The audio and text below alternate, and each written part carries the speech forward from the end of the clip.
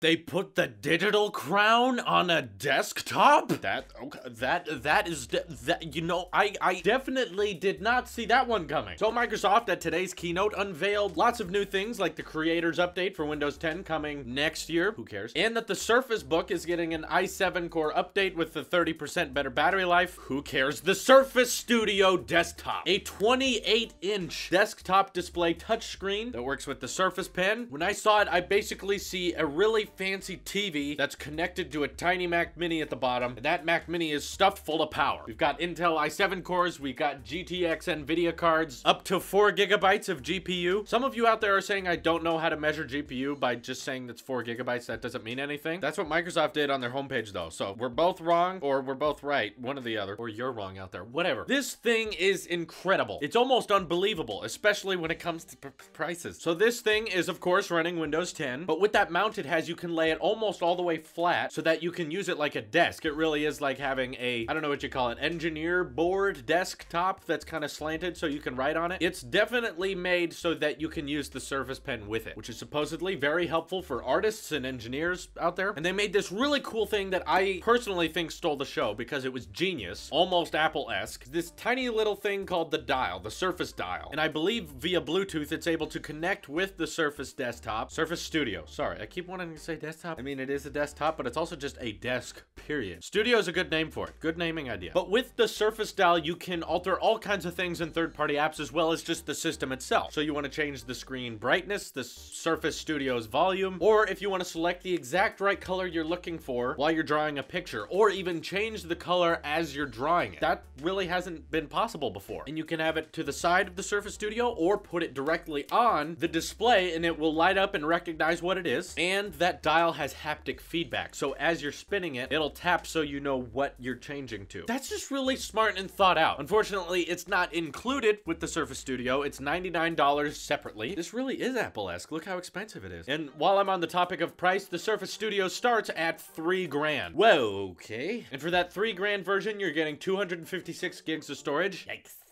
that probably gonna need more than that. And currently there's only three options to configure from. A three grand one, a three and a half grand one where you get 512 gigs of storage, and like a $4,200 one, which gives you a terabyte. So yeah, that bites you in the butt. It's almost the same pricing as Apple's Mac Pro, which hasn't been updated in three years. Plus you're getting a great display with it. A giant touch display for that matter. Now, I'm sure the question a lot of us are saying out there right now is, do I think that this is way better than Apple's iMac? And I'm going to point to something Microsoft said said themselves today. They have created a new genre of product. I think they're very right about that given the giant price gap between Apple's iMac and the Surface Studio. They're almost not in the same category at all. They do a lot of the same things, I understand, but the price range is so drastic. So I'm not gonna count the regular 21 and a half inch iMac just because that's infinitely cheaper. That's like a thousand dollars and that's just a fine workstation for everyday people. It doesn't need to be overly advanced. It's just a basic computer that works. But the 27 7-inch 5K resolution iMac. That starts at $1,800 and the Surface Studio starts at $3,000. So almost twice the price. My point is anyone in the market for a desktop computer, which is increasingly rare these days, I don't think they're going to be comparing which one should I get. If you're going to invest in the Surface Studio, I'm jealous immediately. I'd love to get my hands on one somehow. Definitely not visiting Best Buy. But I think the purpose of the Studio is not to have the best specs in the world. The main appeal is that touch display, which again is amazing and that dial for pro people who need to move things precisely. I think that's what you're really buying into, not the specs. If you wanted specs, what you can get out of a Mac Pro for $3,000 is pretty insane. Not just a quad core, you're getting an Intel Xeon chip with eight cores, configurable up to 12, and I know you're not getting a monitor, but in other words, I don't see any reason for someone to be on the fence about this. If you want the high-end specs and you don't like Apple's operating system, then you should just build your own PC. That would be much, much cheaper than a Surface Studio. And of course, if you want want that touch display that does all that fancy thing with the Surface Pen and the Surface Dial, yeah, the iMac doesn't even have a touchscreen, so why would you even go there? So it's essentially appealing to the same people who bought the Surface Book. They need some pretty good specs, but they also need something to draw on. I think that's a very niche market. I know there's a lot of you out there, and I'm happy that you found a product that works for you, but I don't think it's most consumers. And the Surface Studio is definitely not for everyday people. Be great if it was, though. If this was half the price, man, it's that cool. So don't get me wrong, I'm gonna go into a little bit of my criticisms of it. I still love the thing and I would love to have one and I'd love to play with one. But let me just bring up, we have had desktop touchscreens before. And there's a reason they never really caught on. It's because having a touchscreen at that scale always seems to get messy. Imagine the fingerprints on your iPad. Just on my iPad Pro, it looks kind of ugly if you don't clean the screen often. So I'm just imagining that on a 28 inch display and how ginormous that is, covered in fingerprints. A friend of mine has a 5K 27 inch iMac. That's what I do my live streams from. That thing we have to try not to touch as much as possible because once you get a flake on there, it's really, really noticeable. And now this desktop is like, please touch it. You're supposed to interact with the display. It's, it's gonna make it look ugly over time. And my other biggest problem with it is just Windows 10. Not a fan of how they forcefully installed it on a lot of people's computers and personally found it being an inconsistent experience for everyone. Certain people had certain problems. Other people had different kinds of problems. I don't feel like it's a smoothened out